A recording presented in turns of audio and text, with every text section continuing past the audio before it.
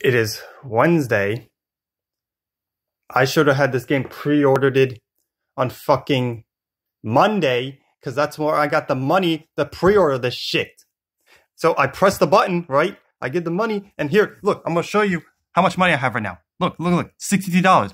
This is five ninety-nine. I have no taxes for this shit, and I'm in fucking. And I gotta buy. I gotta buy. I'm gonna buy it, right? I'm gonna buy. Loading, loading, loading. Oops, not sure what happened. Please try again later. Here's the thing. I did try again later. You're still giving me this damn pop-up. Like, I don't, I want all I want to do is fucking pre-order this shit.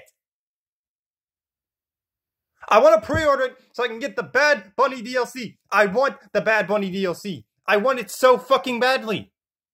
I was so fucking excited when I realized that he was a DLC.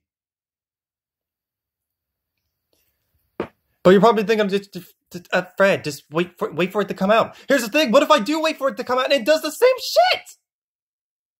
I don't understand. Oh, I just want to pre-order this shit. I have the money for it, and I just want to fucking pre-order this shit. Is that too much to fucking ask?